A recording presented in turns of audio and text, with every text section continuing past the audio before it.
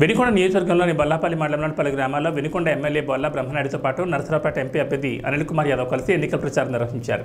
ఈ సందర్భంగా మాట్లాడుతూ ప్రతిపక్షాలపై నిప్పులు జరిగారు ఈ ఐదు సంవత్సరాలు ఏ పార్టీకి ఓటేశారో కూడా చూడకుండా పథకాలు ఇచ్చిన ఏకైక నాయకుడు జగనన్నని మీ కుటుంబంలో జగనన్న ప్రభుత్వంలో మంచి జరుగుంటే జగనన్నకి అందరూ కూడా తోడుగా ఉండాలని సూచించారు. కార్యక్రమం దగ్గర నుంచి ఈ రోజు ఆ వ్యవస్థ లేకుండా ఎవరికి ఓటేసామనకుండా ఏ కులం ఏ మతం అనకుండా నేరుగా వాలంటీర్నే మీ ఇంటికి పంపించారు. లేని వాళ్ళందరికీ పలకరిస్తున్నమాట వస్తాం అడుగుతా ఉన్నా.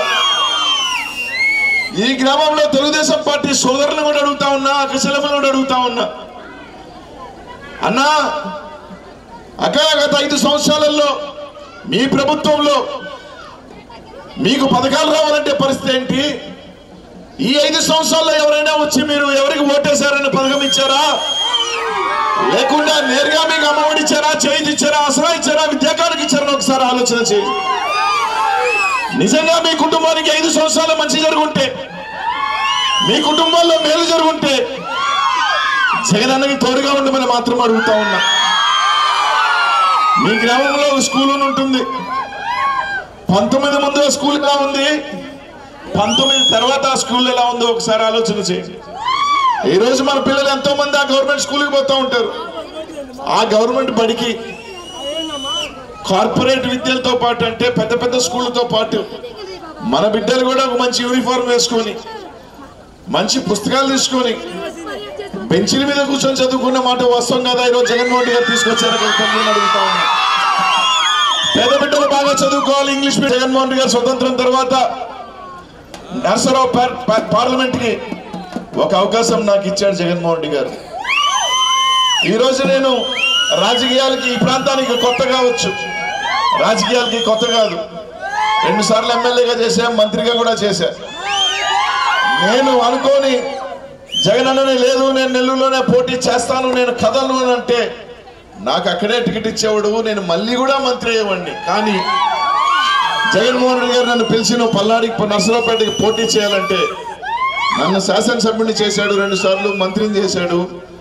మారు కూడా మాట్లాడకుండా జగన్మోహన్ రెడ్డి గారి మాట కట్టుబడి ఈ ప్రాంతానికి వచ్చాను.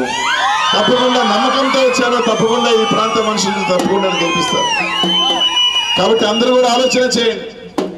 నెల్లూరు జిల్లాలో రెండు సార్లు బీసీగా ఎవరు ఎమ్మెల్యే కాల మంత్రి ఇప్పుడు దాకా కాల అది ఎవరన్నా అయ్యారంటే అది అనిల్ కుమార్ యాదవే.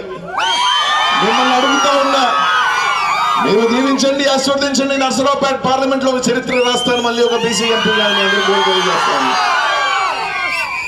ఈ ఈ ప్రాంతం నుంచి పదే పదే పదే పదే జీవి ఆంజనేయులు గారు ఒక మాట మాట్లాడుతూ ఉన్నాడు.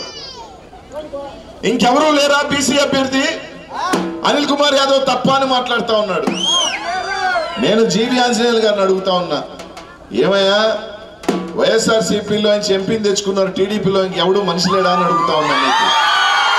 ఐదు సంవత్సరాలు వైసీపీలో ఉన్న ఎంపీని తీసుకొచ్చి మీరు పోటీ చేయించుకున్నారే? మీ తిరుగుతా ఉన్నా అన్ని ప్రాంతాల్లో తిరుగుతా ఉన్నా. ఏదో మాట్లాడాడు అనిల్ కుమార్ యాదవ్ గురించి. మా నాయనేం వెయ్యి కోట్ల ఆస్తిపరుడు కాదు. మా నాయనేం నాకేం వెయ్యి కోట్లు ఇచ్చే రాజకీయాల్లో తెప్పల నేను రాజకీయాల్లోకి వచ్చే రోజుకి నాకు తండ్రి కూడా లేడు అన్న లేడు. తమ్ముడు లేడు అక్క లేరు చెల్లి లేరు ఒకే ఒక బిడ్డని. అయినా ఒంటరిగా పోరాటం చేసిన జగన్మోహన్ రెడ్డి ఆశీస్సులతో ఈ రోజు ఒక స్థాయికి ఎదిగిన ఈ రాష్ట్రంలో. ఈ రోజు రెండు సార్లు ఎమ్మెల్యేగా మంత్రిగా నా వంతు కృషితో ఎదిగా. మా అబ్బలో మా తాతలో వెయ్యి కోట్లు ఇచ్చి నన్ను పెంచరా. కానీ మంచి నేర్పించారు.